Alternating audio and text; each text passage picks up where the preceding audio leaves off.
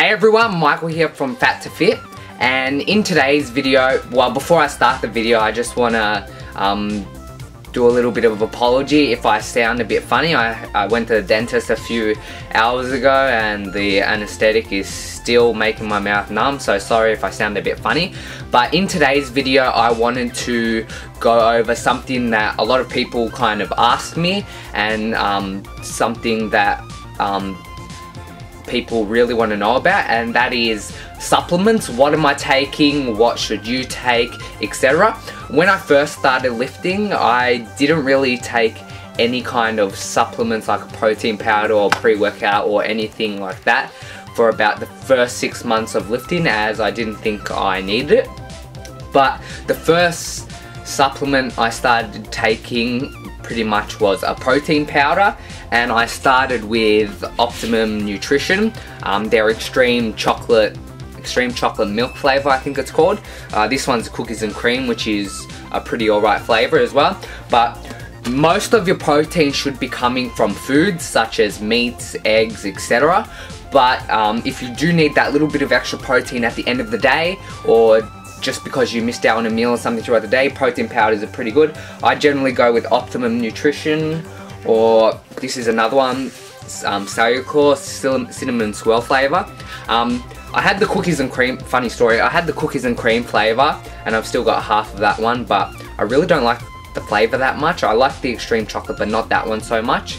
So I went online and read a lot of reviews and everybody's like get the cinnamon swirl flavor. It's a really good flavor, tastes really good turns out I don't really like that flavor either, so now I'm stuck with two tubs of protein, but I'll eventually get rid of them. Um, another supplement I take is C4, so just um, a pre-workout. Um, Icy Blue Razz is my, ooh, let's see focus. Icy Blue Razz is my favorite flavor. Um, so once you don't really need a pre-workout in the beginning um, just being in the gym will be enough but um, I started taking a pre-workout and it just it just helps with the workout so much especially when you're tired.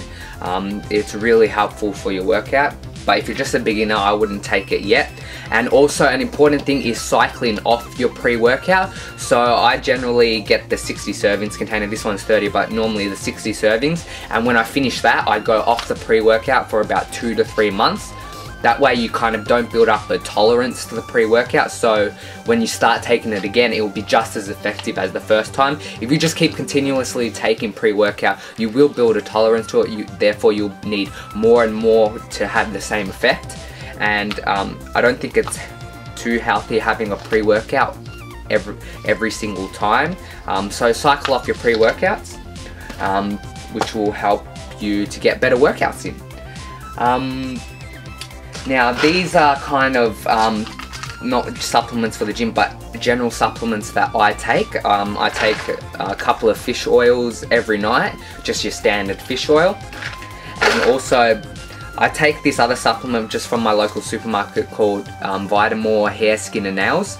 Um, this one you don't really need, it's um, I take this one as a part of my regime for my loose skin. I still have quite a bit of loose skin but it's tightened up considerably in the past year and that's mainly um, due to me doing stuff like this, um, vitamin um, E oils, collagen oils, stuff like that that I kind of rub. Um, but yeah, that's just for loose skin. I'll probably have a separate video on that on one point but I'm not really comfortable showing my loose skin yet. Maybe one day. Um, I take um, recently, in the past few months, actually, I've started taking just a vitamin C tablet. Just let me try to focus this. Um, just a vitamin C tablet just to help.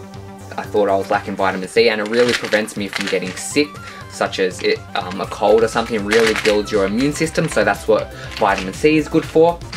Um, that's pretty much it for the supplements, but then the stuff I'm about to show now I wouldn't really count as supplements but um, it's something extra I normally take if I can afford it. And that's normally Quest products. So Quest chips, barbecue is my favorite right now then sour cream and then the sea salt or salt and vinegar or whatever it is. Quest chips along with Quest bars um, my favorite one being the s'mores flavor. I had one of those today today. I love the s'mores flavor.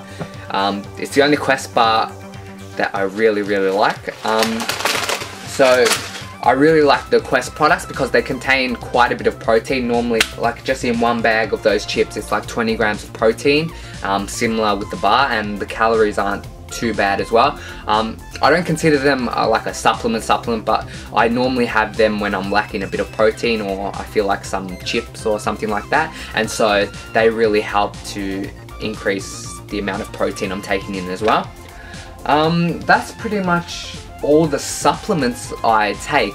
Um, you there's not really any other extra supplements you can take. Um, there's a few other things for the more advanced um, lifters such as NO2 and stuff like that. But basically, protein powder and pre-workout is what most people take. Protein powder, you don't even really need it if you're getting most of your protein from your food, um, which you should be, and the protein powder should just be that little extra that helps you to reach your protein goals.